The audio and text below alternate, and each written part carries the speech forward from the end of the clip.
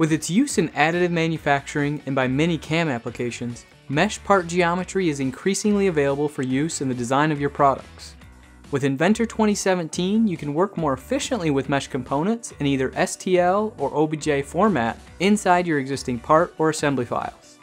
When incorporating mesh components into your assemblies, you can now constrain and pattern these objects similar to native geometry.